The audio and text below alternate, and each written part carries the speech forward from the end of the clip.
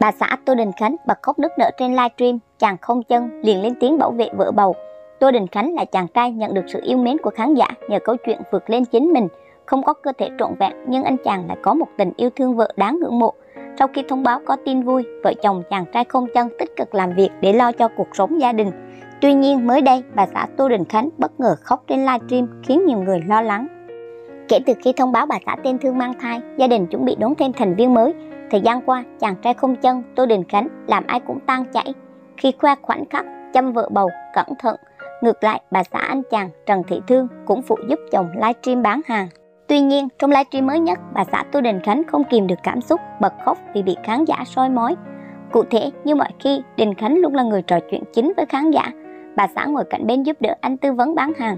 Được biết, vì đã từng sống ở Nhật và sử dụng qua nhiều mỹ phẩm nên Thương có sự am hiểu sản phẩm nhất định.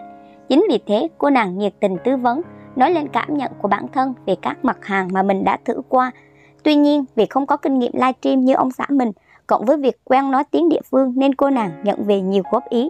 Thậm chí còn có người nhận xét cô nàng nói chuyện khó nghe, vòng vo nhưng hay dành phần của chồng. Khi đọc được bình luận của khán giả, Thương bất ngờ bật khóc trên livestream khiến Tô Đình Khánh cũng bối rối. Cô nghẹn ngào nói, bình thường anh Khánh livestream nhiều nên nói chuyện trôi chảy là điều bình thường.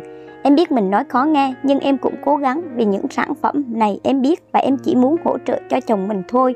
Nhiều lúc thương anh, em cố gắng xuống like để kiếm vài đơn hàng để lo cho cuộc sống. Em cũng không biết làm sao. Lúc chồng em like mà em ngồi im thì mấy chị cũng nói em sao chồng em like mà em ngồi im. Mấy chị thông cảm cho em chứ em cũng không biết làm sao vừa lòng hết tất cả mọi người. Tiếp lời bà xã, chàng trai không chân thổ lộ, không sao đâu em, do mấy chị không hiểu. Khánh cũng xin giải thích với mọi người là do em livestream nhiều nên giọng em sẽ có nhấn nhá và mọi người sẽ dễ nghe hơn. Còn Thương mới hỗ trợ Khánh nên không có kinh nghiệm. Với lại, Thương nói giọng Bình Định, đó là giọng quê hương của mình nên các chị không thể chê giọng này giọng kia được. Vừa nói dứt lời, Đình Khánh quay sang ôm và hôn ăn ủi vợ. Anh còn đọc nhiều bình luận khen thương để động viên cô nàng. Ngoài ra, anh chàng cũng mong cộng đồng mạng thông cảm vì bà xã đang mang thai, rất nhạy cảm và dễ tổn thương. Tô Đình Khánh là một trong những cái tên nhận được nhiều sự chú ý của khán giả trong thời gian gần đây. Sở hữu gương mặt điển trai nhưng số phận đã vô tình lấy đi của anh đôi chân khi không may mắc căn bệnh hiểm nghèo. Thế nhưng không gục ngã, Tô Đình Khánh đã cố gắng vươn lên hoàn thành và trở thành nguồn cảm hứng cho nhiều người. Ngoài kinh doanh online, anh còn hoạt động tích cực trên các diễn đàn mạng xã hội. Những video của Khánh luôn mang đến cho người xem tiếng cười và thêm nguồn năng lượng tích cực cho cuộc sống. Ông trời không lấy của ai tất cả, dù không có được cơ thể lành lặn như bao người, nhưng Tô Đình Khánh lại có một tình yêu như chuyện cổ tích đáng ngưỡng mộ. Từng chia sẻ với khán giả, chị Thương tiết lộ cô đã đem lòng cảm mến chàng trai đầy nghị lực qua các video anh đăng tải.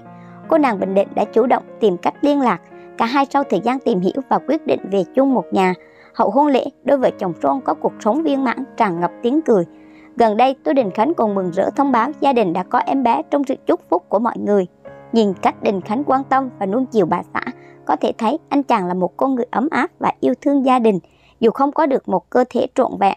Vượt qua nhiều sóng gió cuộc đời, Tô Đình Khánh giờ đây đã có được cho mình một mái ấm riêng và một thiên thần nhỏ sắp chào đời. Nhiều khán giả đã gửi lời chúc cho anh chàng luôn nỗ lực và đón nhận nhiều niềm vui trong cuộc sống.